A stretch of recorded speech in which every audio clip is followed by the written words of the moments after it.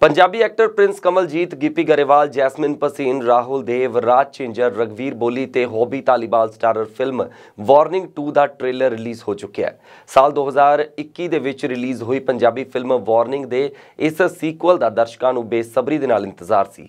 So finally ਇਹ ਇੰਤਜ਼ਾਰ ਖਤਮ ਹੋਇਆ ਤਾਂ ਆਓ ਤੁਹਾਨੂੰ ਦੱਸਦੇ ਹਾਂ ਕਿ ਇਸ ਵਾਰ ਪ੍ਰਿੰਸ ਕਮਲਜੀਤ ਯਾਨੀ ਕਿ ਪੰਮਾ ਕੀ ਗਦਰ ਮਚਾਏਗਾ। ਤਰ ਲੋ ਫਿਰ ਪੰਮਾ ਬਾਈ ਜੀ ਆ ਗਏ ਨੇ।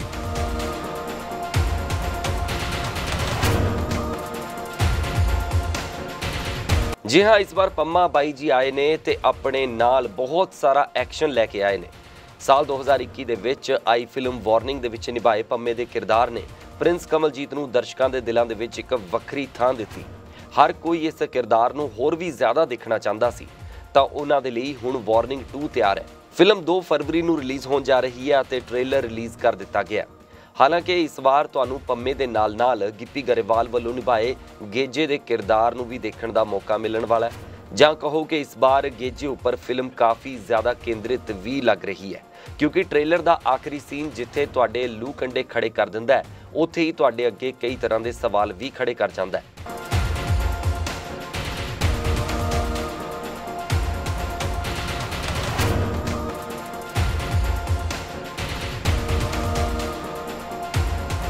ਪ੍ਰਿੰਸ ਕਮਲਜੀਤ, ਗਿੱਪੀ ਗਰੇਵਾਲ ਤੋਂ ਇਲਾਵਾ ਫਿਲਮ ਦੇ ਵਿੱਚ ਤੁਹਾਨੂੰ ਪੁਲਿਸ ਅਫਸਰ ਦੇ ਕਿਰਦਾਰ ਦੇ ਵਿੱਚ ਰਾਹੁਲ ਦੇਵ ਦਿਖਾਈ ਦੇਣ ਵਾਲੇ ਨੇ। ਇਸ ਤੋਂ ਇਲਾਵਾ ਰਾਜ ਝਿੰਜਰ ਰਗਵੀਰ ਬੋਲੀ, ਜੱਗੀ ਸਿੰਘ ਅਤੇ ਹੋਬੀ ਤਾਲੀਵਾਲ ਬਹੁਤ ਜ਼ਬਰਦਸਤ ਕਿਰਦਾਰਾਂ ਦੇ ਵਿੱਚ ਦੇਖਣ ਨੂੰ ਮਿਲਣਗੇ।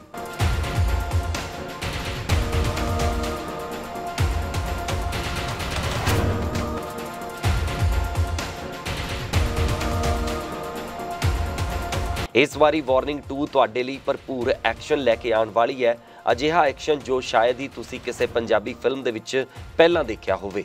ਸਾਲ 2024 ਦੀ ਇਹ ਪਹਿਲੀ ਪੰਜਾਬੀ ਐਕਸ਼ਨ ਫਿਲਮ ਹੋਣ ਵਾਲੀ ਹੈ, ਜਿਸ ਤੋਂ ਦਰਸ਼ਕਾਂ ਅਤੇ ਫਿਲਮ ਦੀ ਪੂਰੀ ਟੀਮ ਨੂੰ ਕਾਫੀ ਉਮੀਦ ਹੈ।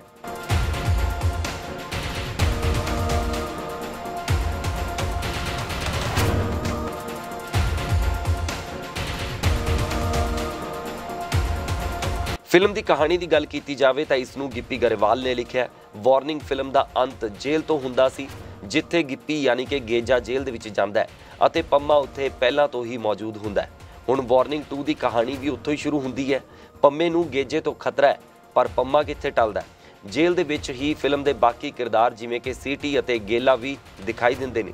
ਇਹਨਾਂ ਸਾਰੇ ਖਤਰਨਾਕ ਅਪਰਾਧੀਆਂ ਨੂੰ ਰਾਜਸਥਾਨ ਦੀ ਜੇਲ੍ਹ ਦੇ ਵਿੱਚ ਤਬਦੀਲ ਕਰਨ ਦੀ ਜ਼ਿੰਮੇਵਾਰੀ ਰਣਜੀਤ ਸਿੰਘ ਯਾਨੀ ਕਿ ਰਾਹੁਲ ਦੇਵ ਨੂੰ ਮਿਲਦੀ ਹੈ।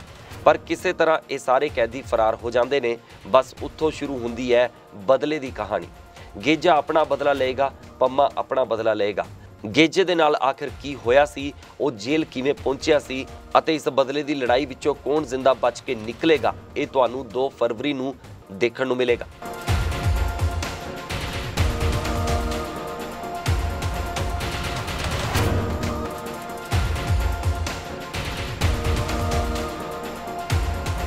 ਫਿਲਮ ਨੂੰ ਅਮਰ ਹੁੰਦਲ ਨੇ ਡਾਇਰੈਕਟ ਕੀਤਾ ਹੈ। ਫਿਲਮ ਦਾ ਸਕਰੀਨ ਪਲੇ ਅਤੇ ਡਾਇਲੌਗਸ ਗਿੱਪੀ ਗਰੇਵਾਲ ਨੇ ਲਿਖੇ ਨੇ।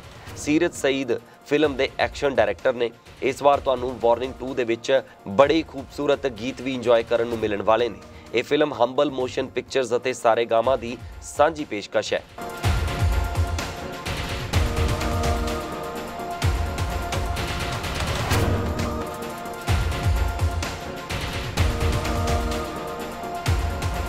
ਸੋ ਤੁਹਾਨੂੰ ਵਾਰਨਿੰਗ 2 ਦਾ ਟ੍ਰੇਲਰ ਕਿਵੇਂ ਦਾ ਲੱਗਿਆ ਆਪਣੀ رائے ਸਾਡੇ ਨਾਲ ਜ਼ਰੂਰ ਸਾਂਝੀ ਕਰਨਾ ਹੋਰ ਜਾਣਕਾਰੀ ਅਤੇ ਤਾਜ਼ਾ ਅਪਡੇਟਸ ਦੇ ਲਈ ਦੇਖਦੇ ਰਹੋ ਹਮਦਰਦ ਟੀਵੀ